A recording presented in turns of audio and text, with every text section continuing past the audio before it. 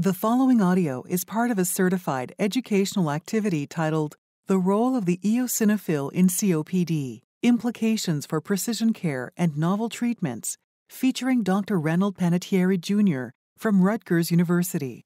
Access the entire activity and complete the post test at www.peerview.com forward slash UZZ. Downloadable slides and practice aids are also available. Chronic obstructive pulmonary disease, or COPD, is the third leading cause of death in the United States. Recently, attention has focused on the persistent blood and airway eosinophilia that is found in up to 40% of patients with this devastating disease. These patients have a higher risk of adverse outcomes than patients without eosinophilia. Although there is still much to be learned, this knowledge may help guide treatment selections for these patients, both in terms of predicting response to corticosteroids as well as for the future, as novel agents targeting eosinophilic inflammation are currently under study in COPD. Eosinophils are derived from pluripotent CD34 positive progenitor stem cells found in the normal bone marrow. This differentiation occurs under the influence of GM-CSF and IL-3 in early phases and IL-5 in the latter phases of differentiation. Mature eosinophils are released from bone marrow into the circulation, and this is primarily regulated by IL-5. Eosinophils are transformed from a quiescent state to a state of increased hyperresponsiveness by priming agents such as these cytokines IL-3, IL-5, and GM-CSF. Eosinophils can be recruited to the lungs under certain circumstances or conditions. These may be found in the airways, tissues, and circulation of patients with COPD, both during stable disease and exacerbations. These immune cells are associated with the risk of COPD exacerbations, mortality, and decline in FEV1.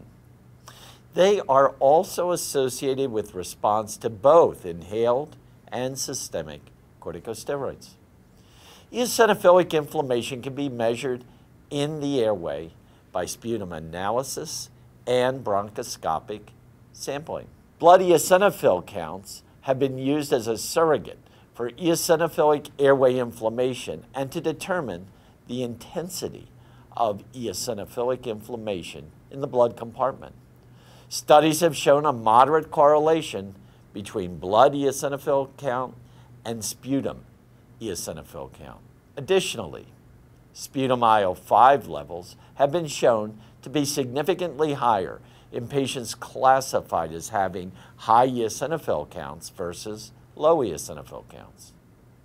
Other biomarkers associated with eosinophilic airway inflammation include fractional exhaled nitric oxide, or Th2 activation markers such as serum periostin, which is still investigational. In one study of 167 patients who experienced a severe COPD exacerbation, 55 had eosinophilia, defined as at least 200 cells per microliter and or at least 2% of the white blood cell count, which was associated with increased risk of 12-month COPD-related readmission, increased risk of all-cause readmission, and shorter time to first COPD-related readmission. Therefore, blood eosinophil levels can be used as a biomarker in severe COPD exacerbations for predicting higher readmission rates. However, a large, well-characterized cohort of former and current smokers with a broad range of COPD severity, the Spiromics cohort, showed that high concentrations of sputum eosinophils were a better biomarker than high concentrations of blood eosinophils to identify a patient subgroup with more severe disease, more frequent exacerbations, and increased emphysema by quantitative CT. In another study, patients with significant emphysema on high resolution CT had lower levels of blood eosinophils. No differences were observed for sputum eosinophils. Studies have also examined the role of eosinophils in predicting response to treatment. For example, the Korean obstructive lung disease study showed that high blood eosinophils, defined as more than 260 cells per microliter, and high plasma periostin, defined as more than 23 nanograms per milliliter, were associated with improved lung function after three months of ICS LABA treatment. In particular, high blood eosinophils in combination with age and baseline lung function parameters may be a possible biomarker for the identification of COPD patients with favorable FEV1 improvement in response to ICS LABA treatment. In a review of studies of the fluticasone salmeterol combination in patients with COPD, moderate and severe exacerbation rates were analyzed according to baseline blood eosinophil levels.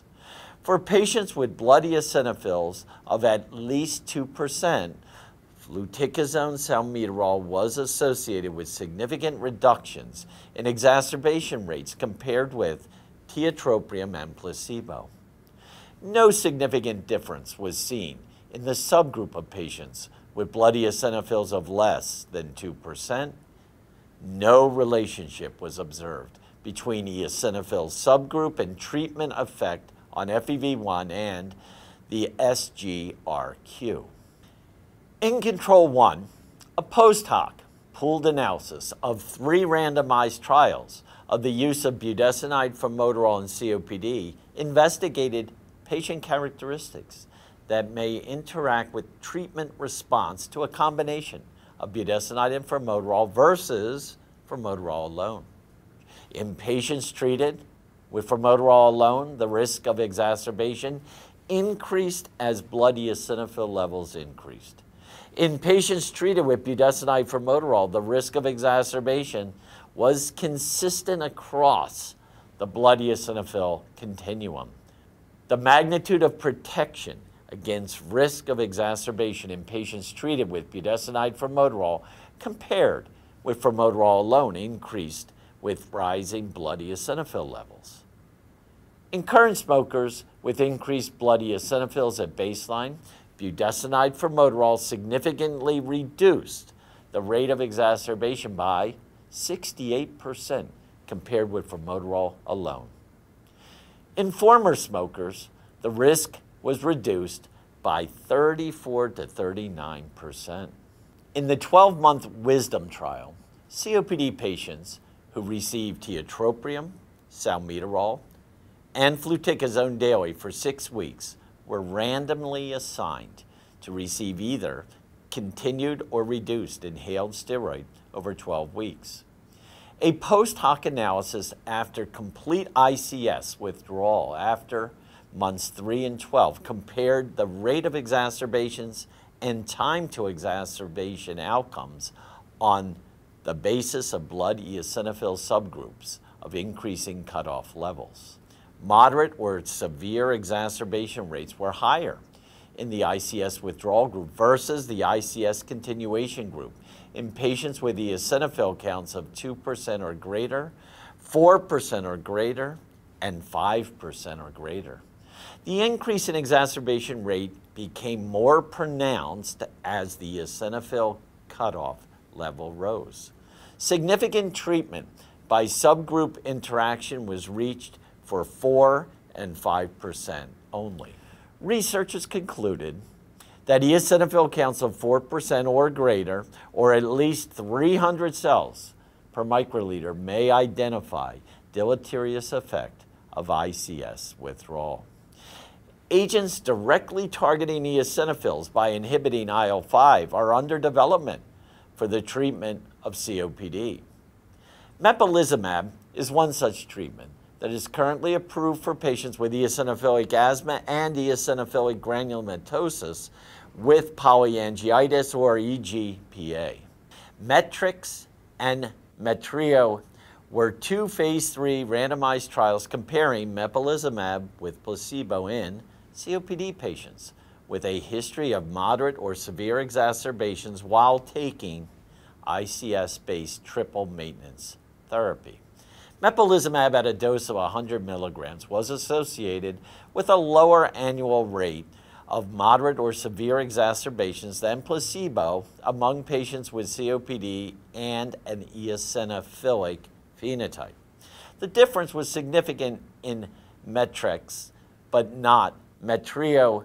In METREX, the time to first moderate or severe exacerbation was significantly longer with mepolizumab than placebo in the modified intention to treat population with an eosinophilic phenotype, but not in the overall modified intention to treat population. A greater effect of mepolizumab was found among patients with higher blood eosinophil counts at screening. The safety profile of mepolizumab was similar to that of placebo. These data have been submitted to the FDA. Benralizumab, a monoclonal antibody that targets IL-5 receptor alpha, is also approved for eosinophilic asthma and is being investigated for the treatment of COPD. A phase 2 study was conducted in adults with moderate to severe COPD, at least one acute exacerbation, and sputum eosinophil count of at least 3% within the previous year. The primary endpoint was not met because benralizumab did not reduce the rate of acute exacerbations of COPD compared with placebo in protocol population, nor did it attenuate symptoms or health related quality of life. However, benralizumab did provide clinically significant improvements in lung function, which were sustained up to week 80 that's 32 weeks after the last dose. Non significant improvements in acute exacerbations of COPD, FEV1, and health related quality of life were greater in the benralizumab treated patients with raised concentrations of peripheral blood and sputum eosinophils. The safety profile was similar to that noted in previous studies of subcutaneous benralizumab in patients with asthma. However, Serious adverse events were reported by a slightly higher proportion of patients in the benralizumab group than in the placebo group, although none were considered to be related to treatment. In summary, blood eosinophil levels may guide treatment in terms of identifying COPD patients who may respond to ICS LABA treatment. Novel agents such as benralizumab and mepolizumab are promising in a subgroup of patients with COPD who have an eosinophilic phenotype. Further studies are still needed to explore the contribution of eosinophils to the mechanism of disease in COPD and identify their association with levels of clinical risk. Well, that ends our discussion for today. I hope you found it informative and useful. Thank you very much for participating in this educational activity focused on the role of eosinophils in COPD. This activity has been jointly provided by Penn State College of Medicine and PVI, Peerview Institute for Medical Education. Thank you for listening. Download materials and complete the post test for instant credit at www.peerview.com forward slash UZZ. This activity is supported by an independent educational grant from AstraZeneca LP.